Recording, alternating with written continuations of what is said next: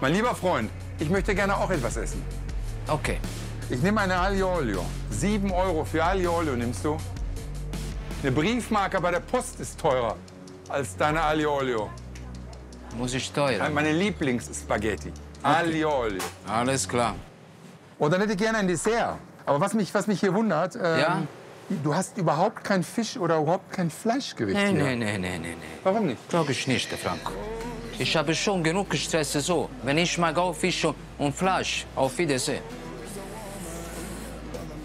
Pizza, Salat und ein bisschen Nudeln. Mehr nicht. Aber man kann doch mal drüber sprechen, oder nicht? Über, für, über die Empfehlung, dass auch mal ein, ein dass man kauft man einen Lachs, macht 20 Portionen und sagt, Ja, aber 20 Portionen muss Lachs man, können verkauft die, werden. muss man diese Gäste dafür auch das die essen. Hier sind Was man nicht hat, kann man nicht verkaufen. Aber ich will nicht. Auf dem Menü steht äh, keine Steak, keine Fisch.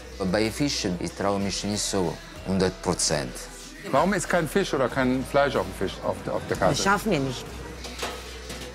Also wenn ich ein Nudelgericht mache, Ja, kann ich in derselben Zeit auch ein Fischgericht ja, machen. schaffen wir aber nicht. Wir sollten Fleisch und Fisch anbieten. Das äh, würde ich mir auch von ganzem Herzen wünschen. Aber ob es überhaupt machbar ist, weiß ich nicht.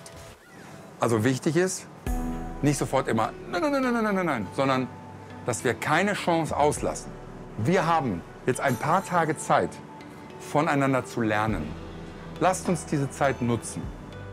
Ist Verstehe. das ein Deal? Ja, Carpaccio, Aglio Olio, Tiramisu.